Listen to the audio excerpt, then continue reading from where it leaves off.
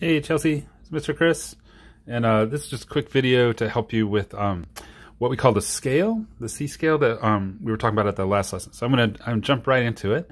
Um, the biggest thing here, um, we need to know our finger numbers. Um, I'm looking at the right hand, it's one, two, three, four, and five.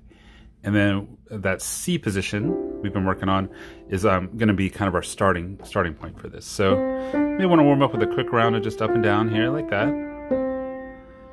Okay, so let's get into the scale. This is a fun thing to do. It's basically where we're going to play from C um, all the way up to this C here.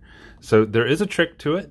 Um, you're going to do the first three notes, and then your thumb is going to scoot underneath like that, plays the F, and then the other fingers come around like that.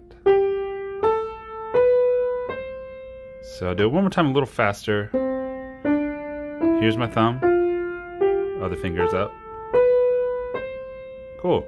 So one good way to think about it is to say the finger numbers as you go. Um, I'll do that one time with you, nice and slow. I'm to go one, two, three. Now here comes one again, right? It's sliding.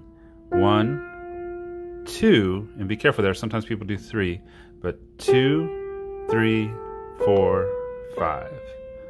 Cool. So it's really all about that motion right there. If you can master that, getting to the other side of it, um, you're going to be...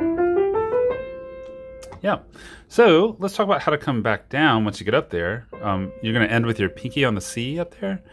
Um, you don't do this. I see people try to do that a lot. That's not it. So it's actually the same fingers. You're going to come all the way down to the thumb. And then your third finger comes over the thumb, like that, to the E, D, C.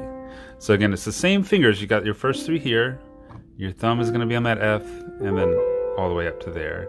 And then back, third finger over, boom. So let's take a look at it all together. Um, again, I'm going to go nice and slow. Don't worry if it's frustrating the first couple times. Trust me, you'll, you'll get it.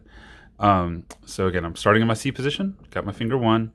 Uh, here I go. One, two, three, one, two, three, four, five, five, four, three, two, one, three, two, one.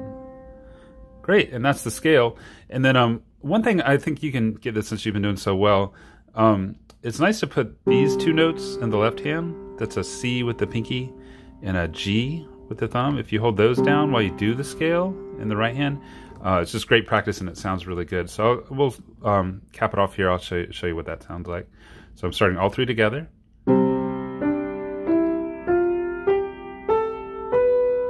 Can do it again here if you like.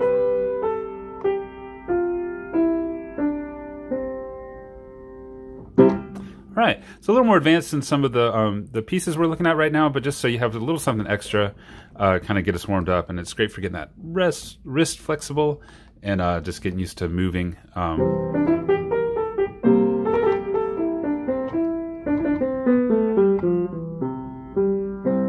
those sorts of guys. Anyway, so great work at the last lesson. Um, again, this is just a little bonus. Uh, if you feel like uh, getting to it, uh, it'd be a fun thing to, to learn. Um, and I'll see you at the next lesson. Thank you.